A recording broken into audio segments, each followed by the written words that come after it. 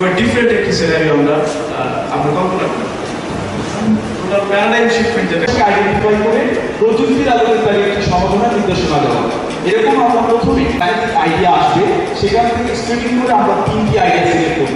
সেই তিনটি আইডিয়া একইভাবে এই কথাটা বলা হচ্ছে যে আমরা যে সার্ভিসটা প্রোভাইড করব জনগণকে, সেটি হবে সরকারের তথ্য প্রযুক্তি ব্যবহারকে ব্যবহার করে স্থানীয় পর্যায় থেকে স্মার্ট বাংলাদেশ মূলত চারটি ধারণার উপর প্রতিষ্ঠিত। প্রথমত স্মার্ট রাষ্ট্রনীতি জীবন প্রতিটা স্তরে প্রতিটা স্তরে ব্যাংকিং ডিপার্টমেন্টটা কেমন হচ্ছে, বর্তমানে ব্যাংকিং ডিপার্টমেন্টটা কেমন আছে? যত দিন যাচ্ছে, এই ব্যাংকিং আস্তে আস্তে মানুষের কাছে চলে আসছে।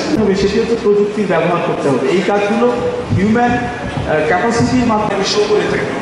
যে আপনার প্রিফারেন্সটা সে বুঝে ফেলেছে আগের থেকে ঠিক করে, যা কি করলে কীভাবে আরও কাস্টমাইজ করা যায়? প্রযুক্তি আমরা অর্ডার দিতে পারি। আমাদের ফুড পান্ডা আছে বা উবার ইট আছে এখানে চালু নেই। সেখানে যারা সার্ভিস প্রোভাইড করে, তাদের মধ্যে আসে নাই।